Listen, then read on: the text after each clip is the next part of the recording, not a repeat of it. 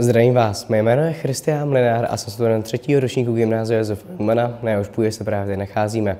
Rád bych vás přivítal na naší akci Pátky s firou, kterou již tradičně pořádáme ve spolupráci s rací Orlen Unipetrol. Naším dnešním hostem není nikdo jiný než doktor Petr Pachir. Vystudoval druhou fakultu medicíny v Praze v Motole. Hned po promoci nastoupil na chirurgické oddělení v nemocnici v Letoměřicích. Roku 2002 získal první stupeň atestace, roku 2006 ten druhý. Roku 2009 však nemocnici opustil a vydal se pracovat do Německa. Roku 2012 získal atestaci v oboru akutní medicíny a roku 2014 se stal specialistou v oboru proktologie. Co se osobního života týče, je ženatý, má dvě děti a ačkoliv pracuje v zahraničí, stále již od roku 2000 bydlí v Letoměřicích. A teď předávám slovo. Tak dobrý den, vážení studenti, mladí přátelé. Eh, dovolte mi, abych vás tady všechny přivítal. Eh, já jsem za vámi přijel na pozvání paní ředitelky, abych vám pomohl trošku poodhalit záclonu nekonečného světa medicíny a seznámil vás s některými zajímavostmi z oblasti světa trávicí soustavy, které se věnuje už 24 let eh, poměrně intenzivním způsobem. Mojí specialitou je nejenom vyšetření eh, trávicího traktu, ale i jeho operování eh, se vším všudy, co k tomu patří, tedy od žaludku až po konečník. A speciálně konečník, ta naše brána ven, to je moje úplně ta největší specializace, které, které si doufám tvrdit, že rozumím asi nejvíc z toho, z celé této tematiky ale nebudu vás tím nějak zatěžovat, pakliže vám to nebude příjemné.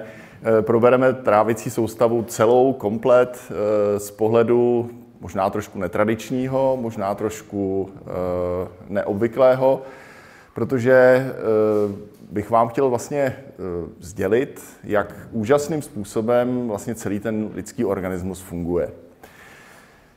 Když se podíváme na to, jak vznikneme, jak eh, vlastně dojde eh, k rozvoji eh, orgánových soustav a tak dál, tak vlastně jsme na začátku jenom tři ploché listy a jeden z nich je neurální trubice, druhý ten list je cévní systém se srdcem, s primitivním srdečním půpenem a ten třetí, ta třetí trubice to je naše trávicí trubice. A v podstatě tyto dva systémy, ten neurologický systém a systém kardiovaskulární, ty jsou samozřejmě obrovským způsobem prezentovány, proskoumávány. A ta trávicí soustava, ta měla po desetiletí v podstatě jenom takovou okrajovou, takový okrajový zájem ve světě medicíny, protože se považovala prostě za soustavu, která nám slouží k tomu přijmout potravu, nadělat z ní energii, no a e, přebytečný zbytek e, z těla vyloučit. Že tomu tak vůbec není, e, jsme zjistili až v posledních desetiletích intenzivním výzkumem a zjistili jsme, že v podstatě všechno souvisí se vším, a to té medicíně platí naprosto o jakémkoliv oboru, a že trávicí soustava má neuvěřitelné schopnosti, které jsou někdy až eh, dechberoucí a proto mi dovolte, abych vám o tom pověděl něco trošičku zblízka. Tady jsem vám rozdělil eh, oddíly trávicí soustavy na několik logických celků a ke každému eh, jsem zvolil takovou určitou charakteristiku, že dutinu ústní můžeme považovat jako vstupní halu do trávicí soustavy, jícen je takovým transportním tunelem. Žaludek by se dal schrnout charakteristikou jako vak plný chemie. Tenké střevo, to je naše energetické a informační centrum. Dostaneme se k tomu proč. A tlusté střevo, to je prostě multikulty svět. To je něco, co je naprosto eh, fascinující, naprosto neproskoumané, s funkcí tlustého střeva rozumíme asi tak 5% v současné době. A konečník a řiď se vám pokusím, pokusím se vás přesvědčit o tom, že to není pouze výstupní brána ven, ale že prostě i, i tato část našeho lidského těla má neuvěřitelné funkce, které pak ovlivňují potažmo vlastně celý organismus. Tak pojďme na dutinu ústní. Já vůbec bych chtěl tu přednášku rozdělit tak jako logicky, nechci vás tady unavovat dlouhými nějakými projevy, popisy a rozebíráním, protože všechno se dá dneska pomalu načíst na internetu.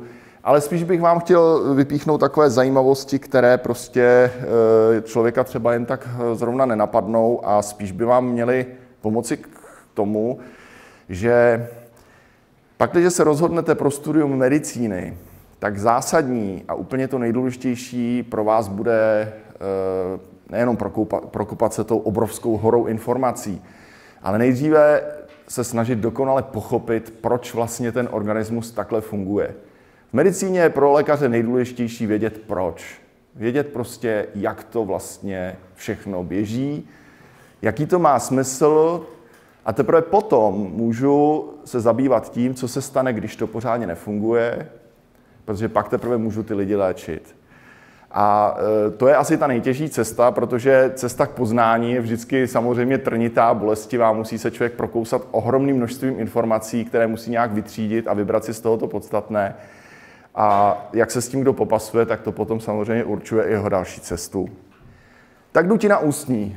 Na první pohled jakoby nic zvláštního, zajímavého, ale když se podíváme, čím je vlastně tvořená, tak zjistíme, že hned obsahuje několik různých nej. Je tady nejsilnější sval v těle, který je schopen vyvinout sílu 80 kg na 1 cm čtvereční. Přesně taková síla je musculus masseter, našeho žvíkacího svalu, kterým rozdrtí stolička tuhou potravu, tuhé sousto. Je tady taky nejpohyblivější sval z celého těla. Jazyk, o kterém se dá říct, že se pohybuje vlastně ve čtyřech, prost, ve čtyřech směrech, ve čtyřech dimenzích, protože nejenom, že je schopen pohybovat se všemi směry nahoru, dolů, doleva, doprava, ale ještě také schopen měnit svůj objem. Pak je tady taky další nej, je to nejintenzivnějším způsobem zásobená tkáň v celém těle. Představte si, že spolkneme drobonké zrníčko z jahody které nás potom dráždí nepříčetnosti někde v oblasti mezi stoličkami a my ho tam pořád cítíme a pořád o něm víme. Neuvěřitelně nás to trápí, dokud se prostě to zrníčko nedostane pryč. Tak strašně citlivá je ta rutina ústní. Kdyby se nám to zrníčko přilepilo na loket, tak si to ani nevšimneme. Tam o něm ani nebudeme pomalu vědět. Když se v dutině ústní přejedeme jazykem po tváři, takhle nahoře proti Eh, horní řadě zubů, tak si nahmatáme na každé straně takový zvláštní hrbolek. Někdo si myslí, no tak já asi tam jsem se třeba kousnul, nebo mi tam něco oteklo. Ale to je vyústění našich příustní, příušních žlas slinných. A potom ještě další dva malé otvůrky máme, když se podíváme na sebe do zrcadla a zvedneme jazyk a při, přiložíme špičku jazyka na patro, tak jak máme pod jazykem takzvanou uzdičku, tak pak uvidíme dva malinkaté otvůrky. Někdy se nám stane, že před tím zrcadlem nám takhle ty sliny vystříknou přímo až na to zrcadlo. A to jsou naše počelistní a podjazykové slinné žázy. A e, ty jsou e, neuvěřitelným způsobem všestrané. Není to jenom proto, aby nám zvlhčili potravu, abychom dokázali dobře polikat, abychom si e, prostě dokázali už na začátku trávicího procesu hned eh, enzymem ptyalínem, který máme ve slinách, eh, nastříhat některé škrobové látky a udělat z nich oligosacharidy, jak už jste se určitě i v chemii učili. Ale v dutině ústní, protože tak silná inervace, je potřeba udělat něco, aby nás to tak strašně nebolelo, když jíme. Protože si představte to malinkaté zrníčko, jak jsem o ním před chviličku mluvil jak strašně to je citlivá tkáň, jak víme o všem, co se v té rutině ústní děje. A přitom vlastně, když si představíte, dám si do pusy hrst ořechů, ty rozkoušu, tak nějak jako leda byla polknuje. No to je přeci hrozné. Když si to představíme, jako jak je to eh, intenzivní prožitek, tak to přeci by muselo normálně hrozně bolet. A ono to nebolí. A proč? V roce 2006 se objevilo, že naše tělo, no, se objevilo. Vědci objevili, že naše tělo si dokáže vyrobit látku, která je sedmkrát silnější než morfium. Tady ta látka se jmenuje opiorfín. A ten si vyrábíme průběžně po celou dobu našeho živíkání po celý den. Opiorfín je anestetikum, které je neuvěřitelně účinné a i v malinkatých dávkách dokáže perfektně znecitlivět sliznici. Tak člověk by si řekl, to je nějaká asi blbost. No není, protože když si potom vezmete třeba vlastní zážitek, probudíte se, škrábe vás v krku. Cítíte tam takový, jak se říká, knedlik. A když potom si dáte první doušek čaje, anebo zakousnete kousek chleba k snídani, tak zjistíte, že se vám vlastně po, té, po tady tom eh, trošku ulevilo. Že to vlastně už tak hrozné není, jako když to bylo ráno, když jsme se probudili. A to je tím, že ten opiorfín vlastně působí a vlastně nám pomáhal znecitlivět i tu tkáň, která nás eh, bolí, která byla vyschlá po té noci a eh, pomůže nám vlastně překonat tuhle tu bolest. Navíc se zjistilo, že opiorfín je látka, která má úplně úžasné antidepresivní účinky. Takže ono žvíkání žvíkačky, anebo u některých typů lidí časté jedení a přemáhání stresu tímto způsobem, bude mít asi něco do sebe.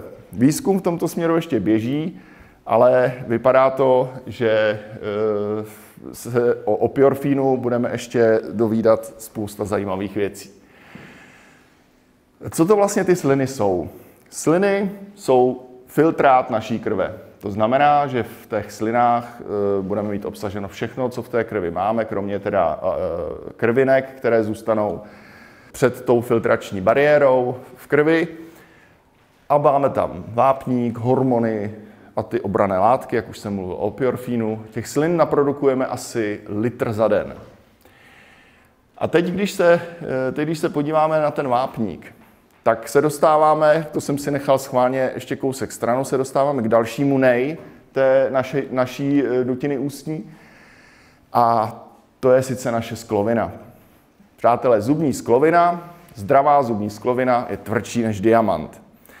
A e, při produkci e, vápníků e, ze slinných žlas dochází k obnovování mineralizace této skloviny. Akorát nesmí se stát jeden průšvih, nesmí se ta sklovina poranit. Což bohužel v současné době v éře tělen z těch fantastických rovnátek, které se lepí na zuby, je bohužel ten velký kámen úrazu, že při odstraňování lepidla často dochází potom k porušení i té e, skloviny a ta se už nikdy neobnoví. Takže je potřeba e, si vybrat i pracoviště, které e, ty zuby nepoškodí a které bude prostě i v tomto směru už dostatečně erudováno, aby nám nespůsobily škody na celý, na celý život. O tom znecitlivování tím opiorfínem už jsme mluvili a teď máme tady ještě další strašně zajímavou složku těch slin a to především e, slinné žlázy příušní, která produkuje takzvaný mucín.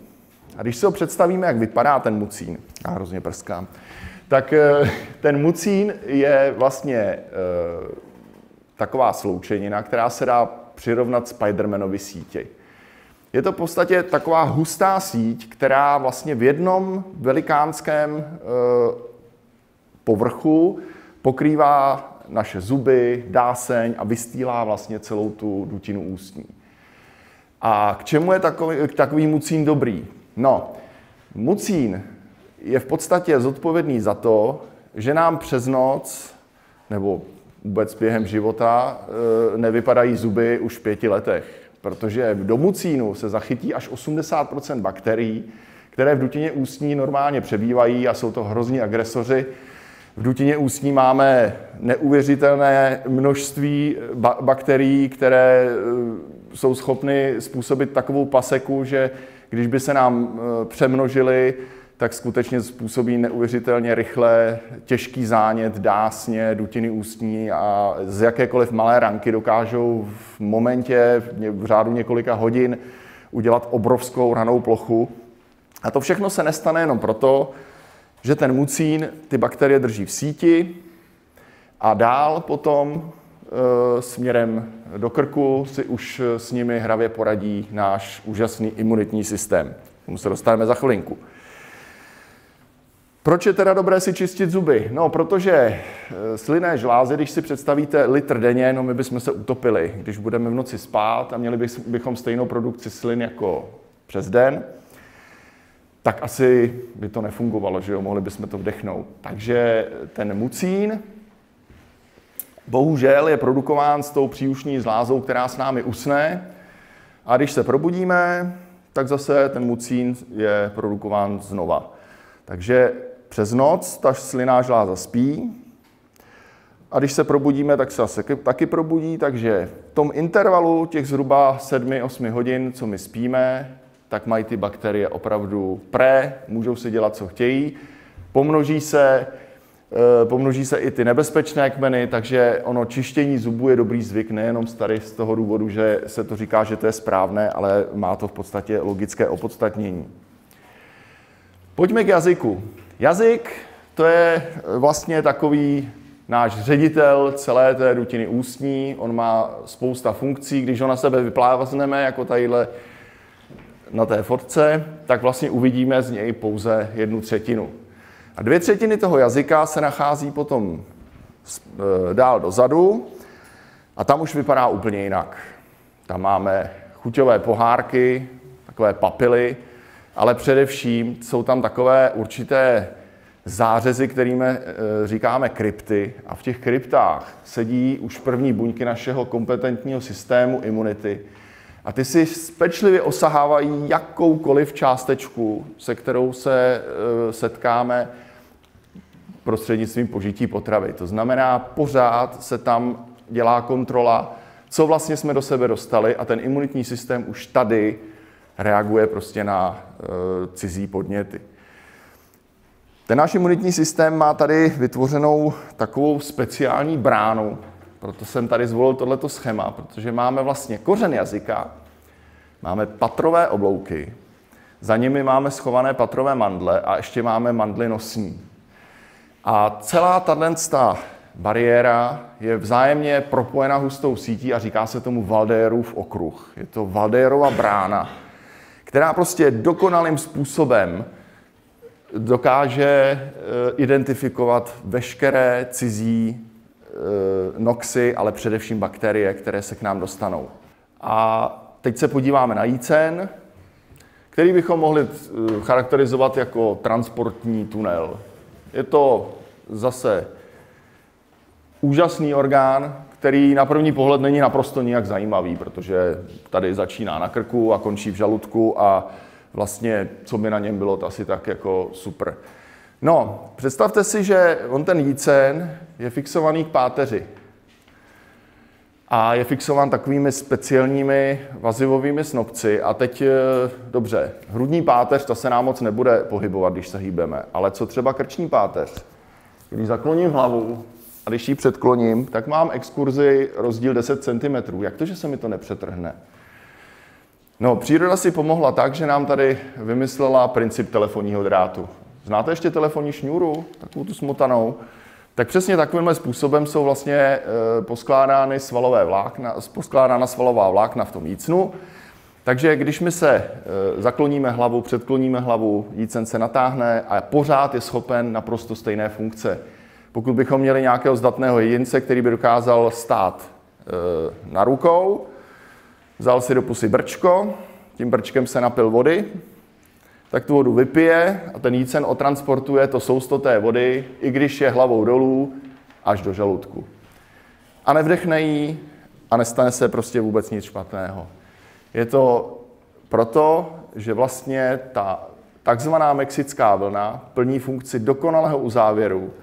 A vlastně jako když anakonda polkne nějakou větší potravu, jede ta peristaltická vlna tím jícnem až do toho žaludku, a nepřipustí naprosto žádnou chybu, pakliže celý systém funguje tak, jak má. My samozřejmě si řekneme, když chceme polikat. Když si řekneme, teď si polknout, tak polknu. Když na to myslím, jsem schopen to ovlivnit a polknu si. Ale taky na to nemyslím, protože si sednu a piju kafe a čtu si noviny a u toho můžu něco pojídat a nemusím na to vůbec myslet a ono to stejně bude fungovat. A za to je právě zodpovědno to propojení, to úžasné propojení prostě nervové soustavy, svalové soustavy a vlastně v té horní části toho jícnu máme příčně pruhovanou svalovinu, kde v součinnosti s jazykem nám běží jednak volní a jednak automatické reflexy, takže prostě e, se najíme, všechno funguje jak má, ale když prostě nechceme, můžeme prostě tohleto olivnit a máme prostě nad tím naší kontrolu. Když se potom podíváme dál, tak se dostaneme do žaludku. Žaludek na první pohled vypadá prazvláštně, řekneme si, proč má takový, proč má takový divný tvár, proč vlastně je takovýhle zahnutý a tak jako divně se to vyvinulo, tak jako prazvláštně a proč ten jícen eh, nejde tady do žaludku úplně ze zhora, proč jde takhle ze strany. No, všechno má svůj smysl a je to opravdu dokonale vymyšleno, protože tím, že vlastně máme takovýhle šikmý vstup do žaludku, tak tady tomu se říká Hysův úhel. A ten je hrozně důležitý proto, že pakliže máme ten žaludek správně vyvinutý, pakliže nemáme žádnou další poruchu, tak ten Hysův úhel nám zabraňuje tomu, aby se nám vracel ze žaludku v obsah zpátky do jícnu. Takže e, já, i když udělám tu stojku, tak ta voda, která mi tam do toho žaludku zpátky doteče, z toho jícnu, tak ona se mi nevrátí nahoru, ale ona, ona zůstane vyset třeba tadyhle, pokud jsem hlavou dolů. Ale do jícnu se nedostane nic, protože tyto dvě části se vlastně eh, k sobě přiblíží, zavřou a nejpustí nic dál. No a teď, když si představíme to sousto, co se s ním děje, tak si představte, že ten žaludek je eh, tak eh, dokonale svalově uspořádán, že jsou tam spirály ve třech kolmých směrech a svou činností žaludek dokáže rozmělnit potravu na částečky, které jsou menší než dvě desetiny milimetru. A teprve v tuto chvíli se potom může potrava dostat vlastně z žaludku vůbec ven. Ten, kdo vlastně rozhoduje o tom, jestli ta potrava z toho žaludku může nebo nemůže, je takzvaný vrátník neboli pylorus. Ono samo o sobě by to bylo tak jako celkem nezajímavé. No jo, jenomže když si vezmeme, eh, jaké, jaké procesy všechny v tom žaludku eh, probíhají, tak už to tako, tak nezajímavé není. Tak za prvé, žaludek nám umožní eh, zlikvidovat asi 80% škodlivých bakterií jenom díky tomu, že vlastně kyselost žaludeční sliznice se blíží pH 1 v momentě, kdy začneme jíst. To je taková kyselina, která dokáže v podstatě rozleptat malý drát. Teď si představte, že eh, ty buňky, které v tom žaludku sedí, tak vlastně se jim nic nestane. Oni tam normálně fungují, sliznice se nerozleptá a bakterie, eh, bakterie se zabíjí, potrava se začíná rozmělňovat. Proč to tak je? Jak je to možné? Všechny buňky na svém povrchu mají takový, takovou zvláštní sloučeninu, které se říká glykokalix. A sliznice je od slova sliz. A ten sliz, ten glykokalix, to je něco, co je prostě úplně fascinující svojí strukturou, protože vy máte vlastně veškerý povrch těch buněk pokrytý tím glykokalixem. Bakterie a veškeré škodlivé látky přicházejí do styku pouze s tou žaludeční e, kyselinou a strávicími enzymy. Ale naše vlastní buňky si pěkně pod glykokalixem produkují látky, které potřebují, a vlastně mezi nimi jsou prstíčky takových těch e, zase imunokompetentních buněk, které si osahávají, které ty bakterie tam vlastně v tom žaludku jsou.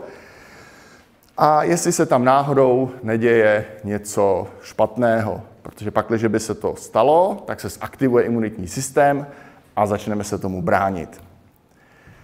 Co to je gastrokolický reflex? Vy jste teď po obědě, že tady kolega spí, v pohodě tak eh, možná má, možná má gastrokolický útlumový reflex, protože gastrokolický reflex neznamená jenom, že eh, potřebuju někdy po obědě na velkou, protože když jsem se hodně najet, tak prostě potřebuju nějakým způsobem si ulevit, protože eh, tělo se připravuje na to, že přijde velká nálož. Ale gastrokolický reflex je také ten, že v žaludku se vyprodukuje hormon, který se jmenuje cholecystokinin. A cholecystokinin to je takový zvláštní působek, který nejenom, že vyvolá e, stahování žlučníku, aby se vyloučilo dostatečné množství žluči do dvanáctníku a nastavovalo se trávení. Ale cholecystokinin je hormon, který začne působit v mozku a dá nám ten pocit citosti. Ono totiž eh, dřív byla teorie taková, že když se člověk nají, tak prostě vlastně veškerá krev se mu přesune do trávicího traktu a že proto my jsme takový unavení po tom jídle a vlastně chceme si lehnout, protože eh, zkrátka ten mozek se mu nedostává krev. Je to nesmysl. Kdyby to tak bylo, vykrvácíme a po každém jídle upadneme do, bez, do bezvědomí. Ale ten cholecystokinin způsobí, že tomu mozku dá signály a řekne mu, teď je potřeba dát se do klidu. Protože teď tady bude probíhat trávení a na trávení je potřeba klid. A my potřebujeme zvýšenou činnost v trávicí soustavě. A nepotřebujeme, abys tady šel kopat nějakou díru nebo šel někde běhat, protože to je energeticky strašně náročné, potřebujeme potom zaměstnat svaly a ty my nepotřebujeme, my potřebujeme, aby si sednul na zadek, aby si byl v klidu a aby se prostě nastartovalo trávení. A to je jenom jeden hormon cholecystokinin. E, další hormonální působky, e, které v žaludku prostě e, se potom vyloučí, tak způsobí další pocity spojené s potravou, kdy už rovnou víme, sedlo nám to, nesedlo a tak dál.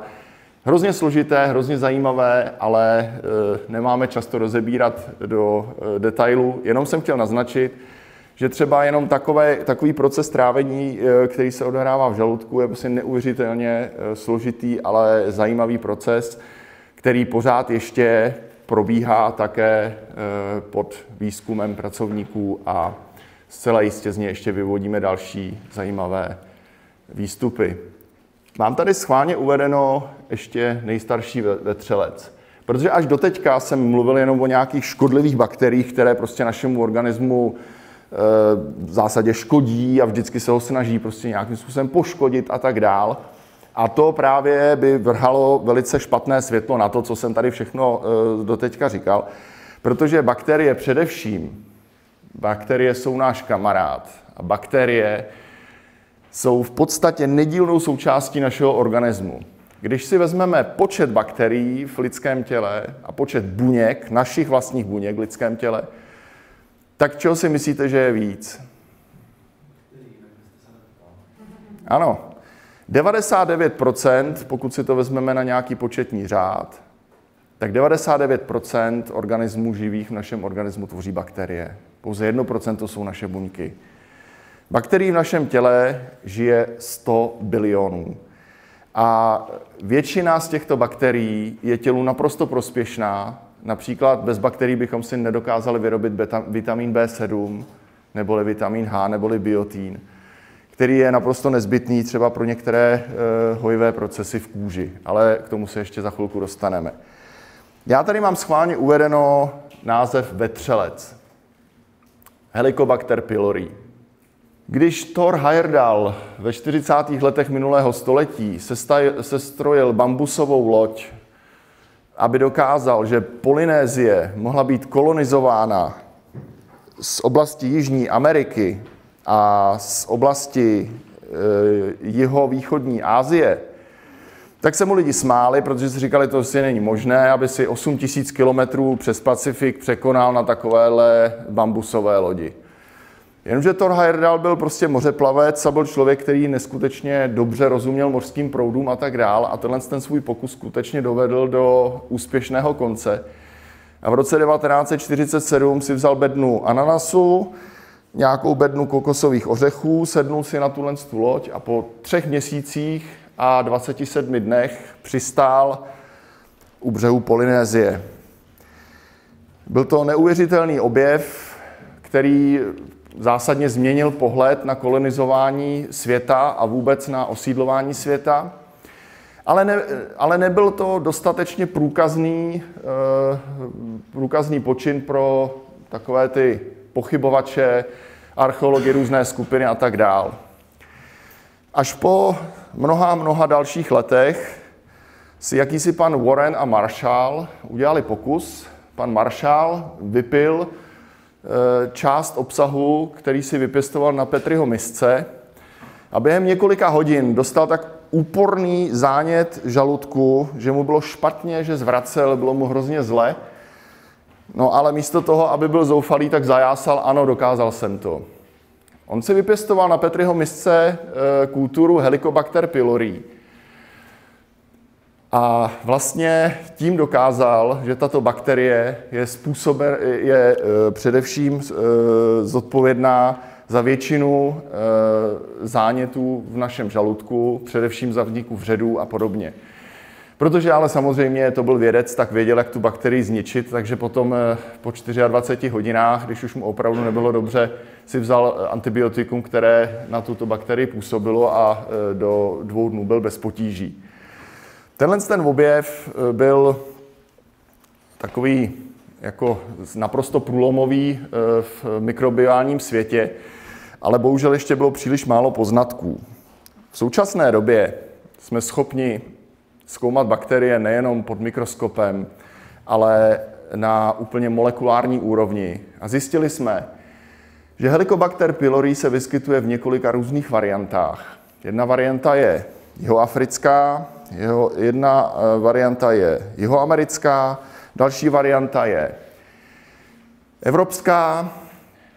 A když potom se dělal celosvětový výzkum Helicobactera pylori, tak se zjistilo, že vlastně ta teorie toho Heyerdala byla správná, protože obyvatele Polynézie mají ve své žaludeční sliznici ty samé typy bakterií, jako mají v Jižní Americe. Takže po spousta letech se vlastně potvrdila ta Herdalova teorie o osidlování světa díky tomu, že se dokáz, dokázali věci typizovat toho Helicobactera pylori.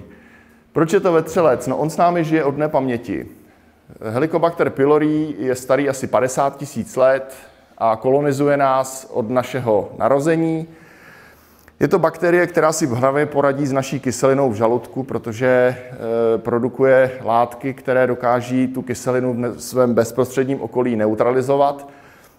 Pronikne tím glykokalixem a prostřednictvím proteinových vláken e, žije potom v naší sliznici. Nejprve se mělo za to, že pokud se najdeme helikobaktera, musíme ho okamžitě odstranit, protože právě je to takhle škodlivá bakterie. Průzkum v současné době ukázal, že Helicobacter pylori eh, je dobré typizovat, protože některé typy jsou schopné produkovat látky, které velice výrazně ovlivní v pozitivním smyslu, například astma. Astmatik eh, s, eh, s Helicobacterem pylori v žaludku může mít daleko mírnější průběh. Člověk s Parkinsonovou chorobou nebude mít tak silný svalový třes. Člověk, který bude mít reumatoidní artritidu, tak při přítomnosti Helicobactera pylori, zase říkám určitého typu, bude mít daleko mírnější příznaky. Takže tento nejstarší vetřelec je také v současné době ve fokusu uh, intenzivního zkoumání a opět se nám ukazuje, že každá mince má svoje dvě strany. Když už jsme se teda dostali teď uh, naším povídáním Eh, od dutiny ústní přes ten jícen až do žaludku, tak eh, si tady můžeme naznačit, jakým způsobem můžeme tohle vyšetřovat. V 80. letech byl vyvinut první eh, endoskop, koukalo se do něj okulárem, byla tam světlovodivá vlákna a bylo to obrovské dobrodružství. Já jsem ještě s tímto přístrojem tady pracoval v Litoměřicích, když jsem začínal. Bylo to úžasné, rozlišovací schopnost to mělo no, eh, minimální a zorné pole, když se člověk díval do okuláru, bylo asi 2 cm. Eh, dneska máme 4K eh, monitory, které prostě zobrazí obraz zvětšený desetkrát, kde opravdu vidíte naprosto nepatrné struktury. Ale schéma zůstává toho přístroje stejné. Je to flexibilní endoskop, který ovládáme v podstatě ve čtyřech směrech. Na konci máme optiku, která nám osvětluje, eh, jednak tam máme zdroj světla, který nám osvětluje vlastně tu tkáň, protože prostě v těle je tma. Máme tady optiku, čip, kterým krásně vidíme prostě na povrch té sliznice. Máme tady pracovní kanál, jeden nebo dva, kanál na oplach. takže jsme schopni provádět prostě i nějaké výkony. A jak to probíhá, se dostaneme k tomu za chviličku, to vám potom ještě ukážu. Teď se posuneme jako ta trávenina do tenkého střeva, abychom si řekli, co je na tom tenkém střevě taky tak jako fascinující. Tenké střevo by muselo mít délku, aby se dala potrava normálně trávit, by muselo mít délku asi tak 12 až 15 metrů. To nemá. Ono má délku něco kolem 3-5 metrů. A čím je to způsobeno? To střevo má neuvěřitelné množství různých výchlipek, kterými říkáme klky, mikroklky. Na těch mikroklcích sedí e, naše střevní buňky, které, se jmenují enterocity. A ještě i ty samy enterocity mají takhle zvlněný ten povrch. Takže ta trávicí plocha, kterou máme k dispozici, je asi 300 metrů čtverečních. V tenkém střevě vytěžíme naprosto všechno, co je možné, až na nestravitelné zbytky potravy, které se potom, o které se potom postarají bakterie ve střevě tlustém. Prosím vás, největší centrum imunity je tenké střevo. V tenkém střevě jsou tzv. Pajerovy plaky a jsou to tedy e, oblasti, kde se dostává do přímého kontaktu náš imunitní systém se vším, co my polkneme. Vzduch, který dýcháme, taky částečně polikáme. Potravu, kterou jíme, tak samozřejmě e, všechno pošleme do trávicího traktu. Takže je logické, že v této oblasti máme největší kontakt s cizími noxami, se kterými se setkáváme vlastně od svého dětství. Je neuvěřitelné, jakým způsobem máme vytrénovaný imunitní systém. Náš imunitní systém musí zachovávat přísnou rovnováhu. Je to tréninkový tábor, kde prostě většina buněk bude zlikvidována, pakliže, vykazují, pakliže nevykazují 100% aktivitu. Vezměte si, že eh, nepoznat eh, nepřítele nás může stát život, ale zareagovat přehnaně na eh, látku, která v podstatě by měla být tělu vlastní, způsobí stejnou paseku. A tohle to vytitrovat, to je prostě neuvěřitelné umění našeho imunitního systému, které pořád ještě není dokonale proskoumáno, proč to tak je. Ale vlastně ta imunitní schopnost nám zachraňuje několik tisíckrát denně život. Imunitní buňka pozná v celém těle, tady ta buňka je špatná, z té by se mohla vyvinout rakovina. Tady nám bují e, počínající plíseň, tady ta bakterie se nám snaží prostě uškodit. Tady ten virus se snaží infikovat naší buňku. Kdybychom neměli buňky našeho imunitního systému, nepřežijeme ani den. Protože několik milionů buněk denně e, pro, propadne rakovinovému bujení, několik milionů buněk denně infikováno různými viry a ten imunitní systém díky tomu, že si právě osahal všechny tyhle ty e, podněty v tom našem tenkém střevě, tak předává tyhle ty informace a ty vykultivované, speciálně vycvičené imunitní buňky jsou potom rozmístěny prakticky po celém těle jako jedna velikánská síť. A neustále jsou spolu v kontaktu a komunikují. Takže i buňka tady někde na zátilku a buňka, která se mi nachází někde v mezibuněčné tkáni, tady dole na patě, mají pořád stejný informační kanál. No není to úžasné? Když se potom posuneme do tlustého střeva, protože už nás trošku tlačí čas, tak si musíme říct, že tady je tak obrovská koncentrace bakterií, že to prostě nemá naprosto v období. Žije tady dva, žijí tady 2 kg bakterií, což je asi 100 bilionů jednotek. A v jednom gramu stolice máme více bakterií, než je lidí na této planetě. A teď si řekneme, jako co tam je za bakterie, no tak jako, tam bude asi ta Escherichia coli, o které se pořád říká. No zjistilo se, že Escherichia coli je zastoupená asi jedním procentem.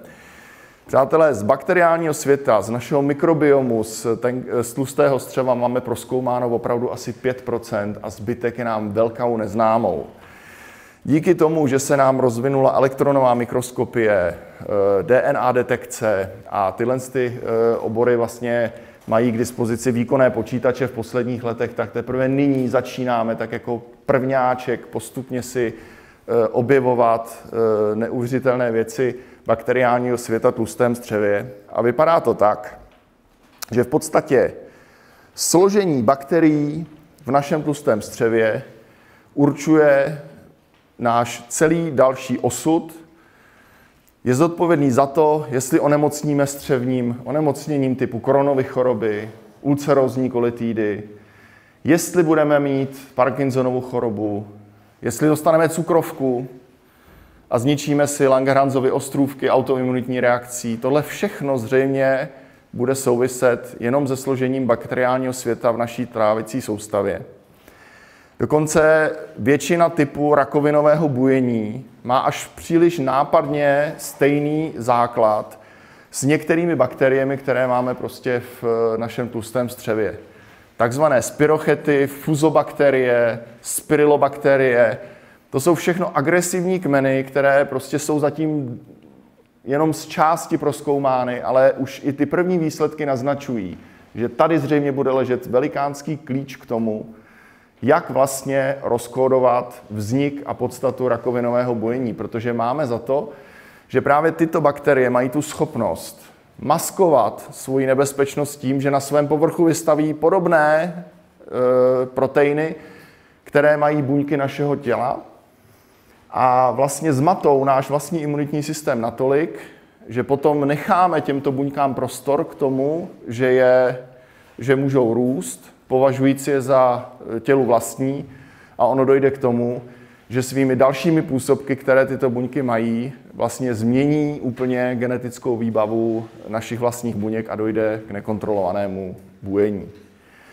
Eh, minimálně pokusy eh, v laboratorních podmínkách tomu napovídají. No a teď ještě k, tomu, k té bráně ven.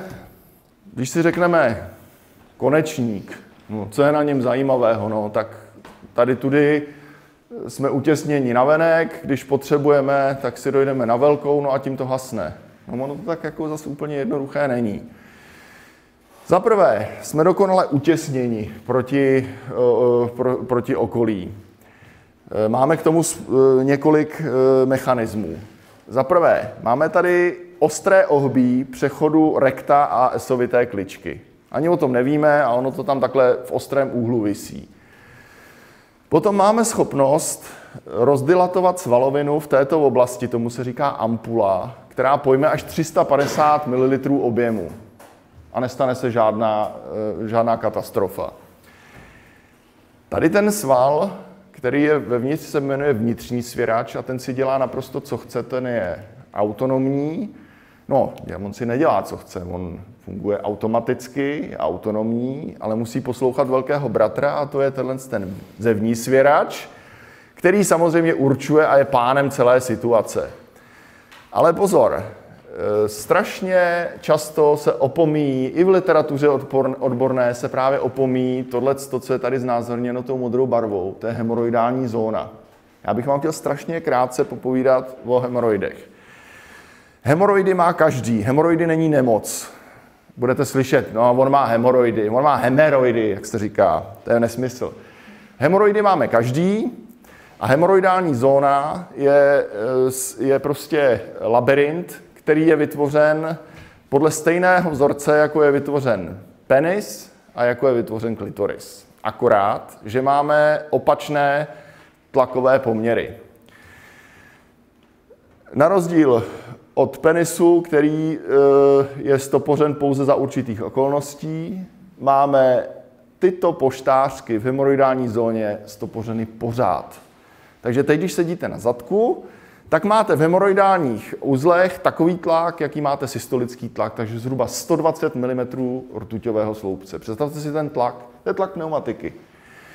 A díky tomu my jsme utěsněni na venek a nestane se, že když si zakašleme nebo si kýchneme, tak se z toho ne, že jo. A díky tomu právě e, máme tuhle tu hemoroidální zónu. Proto i v současné době veškeré operační metody, které se provádí, tak eh, opouští tu strategii, která se dělala dlouhé roky, že prostě hemoroidy, které z konečníků ven vyhřezávaly, tak se prostě od, chirurgicky odstranili. Prostě ta tkáň byla tomu organismu odebrána pak došlo k nějakému zajízvení a bylo po problému. No ono to vůbec nefungovalo, ty lidi se stydili o tom mluvit, protože samozřejmě kdo by asi chtěl vykládat někde na veřejnosti o tom, jak je mu příjemné, že chodí potom pořád s nějakou vložkou, že, vlos, že vlastně nemůže nikdy pustit vítr, když bude potřebovat, prostě si nemůže prdnout, protože zkrátka už by byl uh, průšvih. A Tohle to jsou věci, které e, samozřejmě jsou obrovské tabu a ni, nikdo o nich pořádně nechce mluvit. No a teď se vlastně zjistilo, že šli jsme zpátky do toho, jak vlastně je tělo poskládáno, to je to, o čem jsem mluvil na začátku. Nejdřív pochopit, jak to vlastně všechno funguje, proč to tam tak je. A teprve potom můžu toho člověka nějakým způsobem léčit tak, abych mu pokud možno co nejméně ublížil. Takže v současné době pokud chceme hemoroidální onemocnění léčit moderně, tak ho budeme léčit způsobem, že tělu vlastně jenom pomůžeme k tomu, aby se vrátilo zpátky do těch původních anatomických poměrů, které mu přísluší. A vlastně hemoroidální uzly jenom takovou speciální metodou zmenšíme, naložíme na ně e, takové stehy ze vstřebatelného materiálu, které podpoří tu tkáň v určité pozici na nějakou dobu Dojde tam k zajizvení, přestavbě a hemoroidální úzel se nám vlastně vrátí zpátky tam, kam má. No a najednou zjistíme, že ten výsledek té operace, kterou vlastně jsme e, s panem Klaudiem Pagánem e, zavedli někdy eh, kolem roku 2012-13, že má naprosto fenomenální úspěch. Takovouhle operaci pacient přestojí bez jakýchkoliv větších bolestí, vrátí člověka do normálního života, může normálně fungovat a e, úspěšnost této metody je asi 95%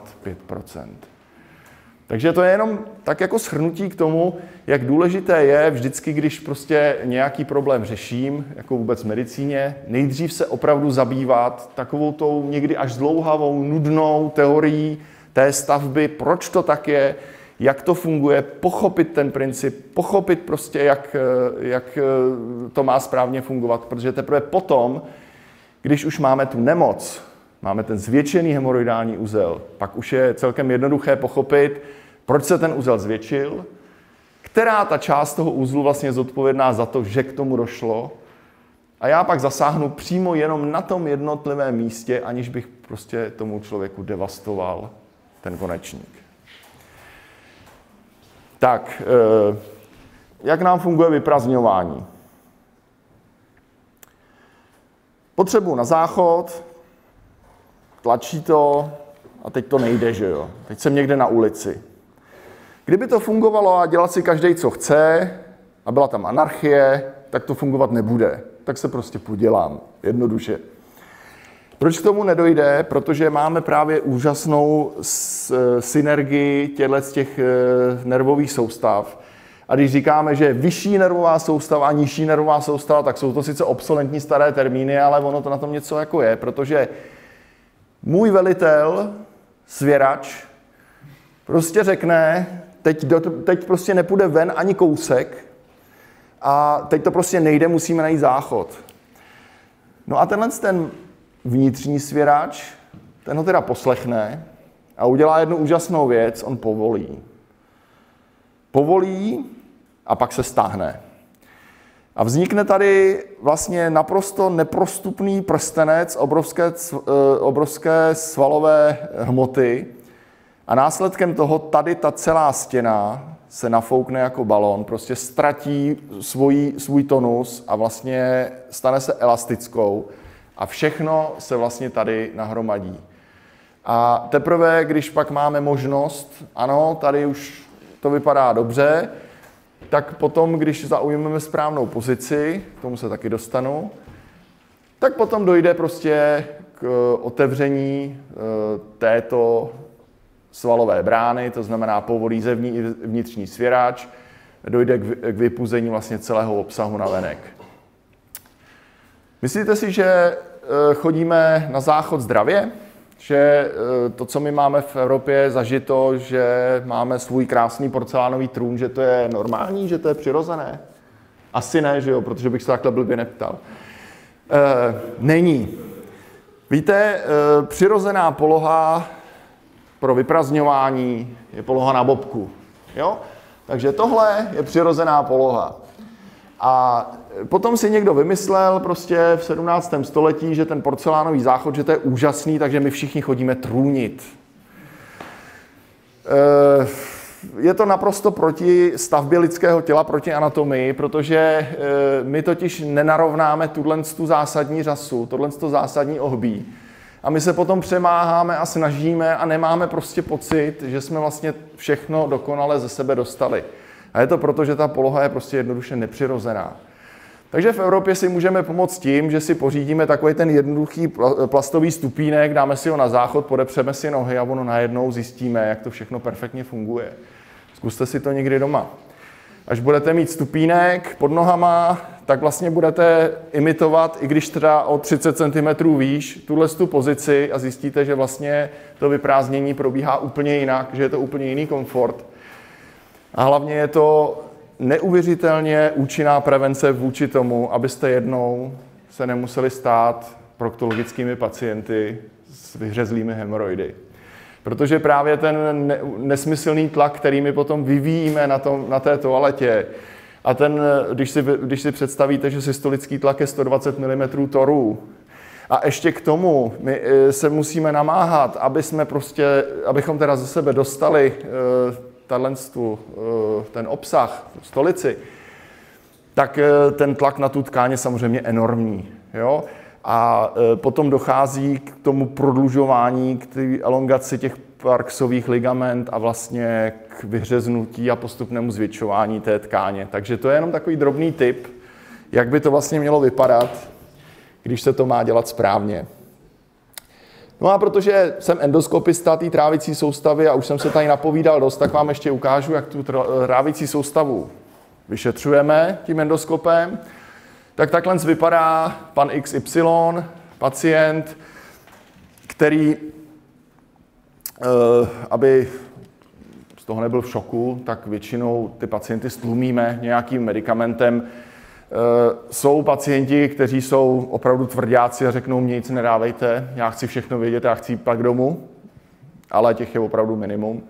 Většina z nich si nechá něco dát, aby byli přispaní, aby to tak nevnímali. Dostanou do pusy kroužek, který chrání především náš drahý přístroj, protože ten stojí několik milionů. A e, Tady se dá takovou, takovou gumičkou utěsní vlastně ten kroužek eh, v těch ústech. On skutečně do ten kroužek může i kousnout, neprokousne ho, je to vyzkoušený. A my potom šetrně zavedeme pacientovi ten vyšetřovací přístroj do úst. Eh, tenhle ten snímek už je starší, ty endoskopy už dneska mají téměř poloviční průměr, eh, protože jak se všechno vyvíjí, i ta technika, tak i v oblasti endoskopie jsou přístroje s čím dál tím modernější. Tady máme kanál odsávací, tady máme kanál e, insuflační, to znamená, když na ně jenom položíme prst, tak, se nám, eh, tak nám dochází k nafukování vlastně té tkáně. Uvědomte si, že všechno je normálně skolabováno. Všechno je to placatý, nikdy žádný vzduch pořádně není. Kromě žaludeční bubliny je všechno kompletně e, splihlé, protože normálně máme svalový krunýř, všechny ty orgány jsou prakticky e, smáčknuty k sobě dohromady. Abychom něco viděli, musíme si to nafouknout. Dneska se už používá většinou oxid uhličitý, který se potom střebává, vydýchá se, pacientovi to dělá minimální potíže.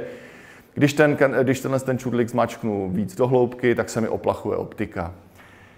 Když potom se dostanu do té e, trávicí soustavy a pozoruju tu sliznici, tak můžu vidět různé patologie, vícnu a e, v žaludku a ve dvanáctníku, takže tady třeba na první pohled vidíte, že je tady nějaký takový drobný kráter, tak tohle to třeba, takhle třeba vypadá e, prepylorický žaludeční vřed.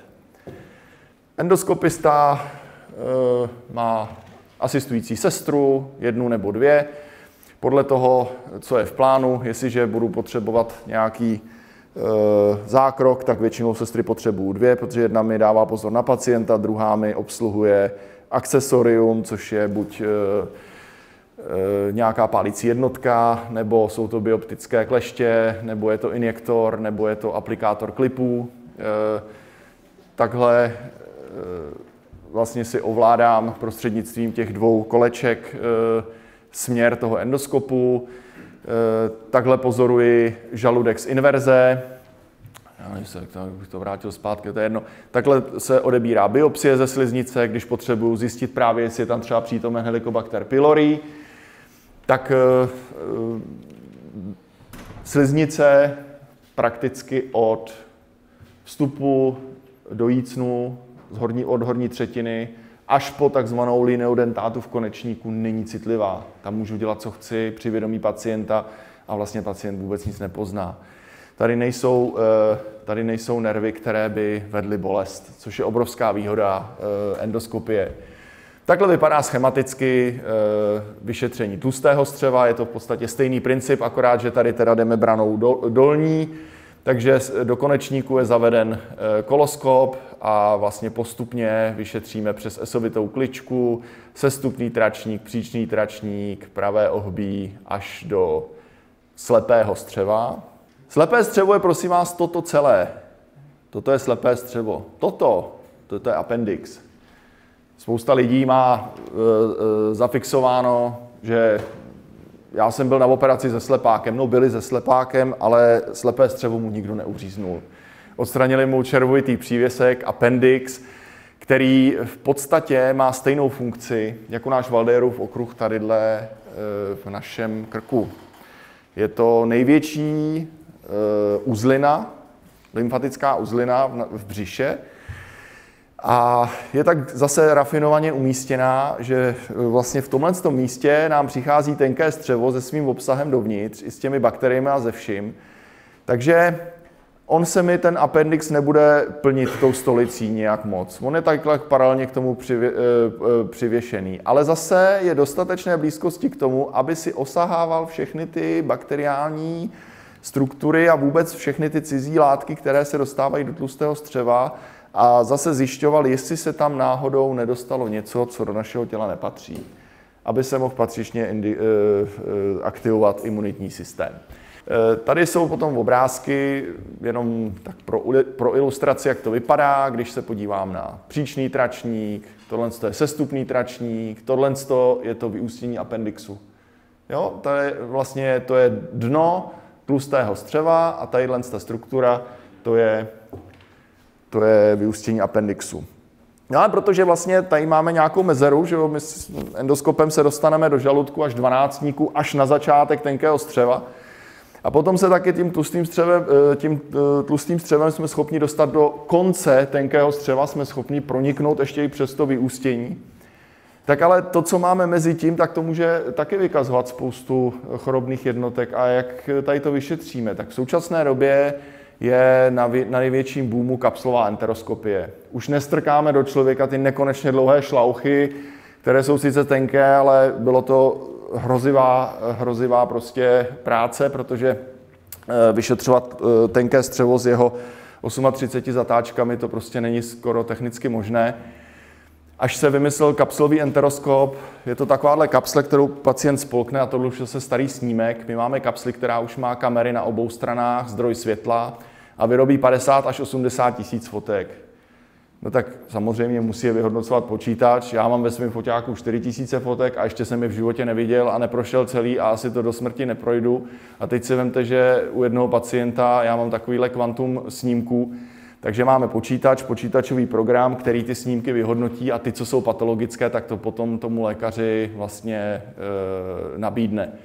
Takže tady je třeba jenom na ukázku, jak vypadá úplně taková normální sliznice toho tenkého střeva a tady jsou potom nějaké chorobné jednotky. Tady je třeba těžká enteritída pablánová, která vlastně e, způsobuje potom odlučování té sliznice. Tady máme vřet na sliznici, Tady máme cévní, eh, cévní pahýl, eh, stav po nějakém krvácení při arteriovenozní malformaci, kdy nám ta kapsle nejenom určí, kde vlastně to krvácení bylo, ale prostřednictvím 3D snímání my dokážeme přesně lokalizovat ten segment, aby potom jsme mohli chirurgicky zasáhnout. A já myslím, že zatím jako na úvod toho, jak se vlastně pohybujeme na poli trávicí soustavy, to stačilo. Takže já vám moc děkuji za pozornost.